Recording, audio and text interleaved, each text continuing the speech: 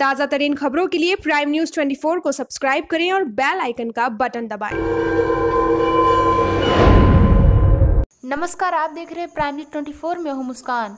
Breaking news Amethi. Bhajpa महिला मोर्चा द्वारा वितरित किया गया मास्क व सैनिटाइजर। प्राप्त जानकारी के अनुसार, अमेठी सांसद और केंद्रीय मंत्री स्मृति ईरानी जी के निर्देश अनुसार और भाजपा महिला मोर्चा की जिला अध्यक्ष आशा वाजपेयी के निर्देशन में मंडल सहगण महिला मोर्चा की अध्यक्ष मीना चतुर्वेदी के द्वारा पूरे मंडल में घर घर जाकर मास्क व सैनिटाइजर आदि का वितरण किया गया। और कोरोना महामारी से बचाव के उपाय भी बताए गए।